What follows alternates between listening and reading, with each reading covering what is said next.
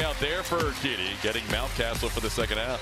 Now it's Austin Hays' turn, right fielder, batting at 254. The one. Oh, They're going to go up against Dean Kremer. Yeah, first time he's ever faced the Astros.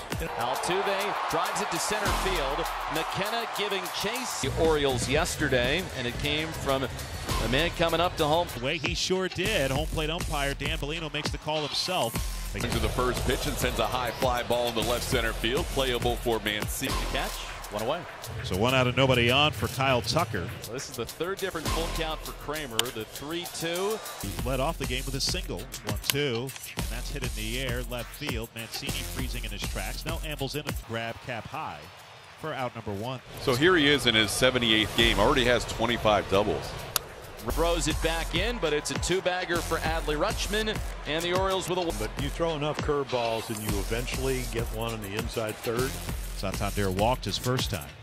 deep fly ball into right field, and Santander has sent this one out of the. So two fly ball outs and a ground out. Dean Kremer is one time through the Astros order. Nine up, nine down. Altuve with a base hit into center field. Altuve will go into second with a double. Yordan Alvarez, the batter, he's grounded out twice tonight. There's a base hit that will score a run. Yordan Alvarez, an RBI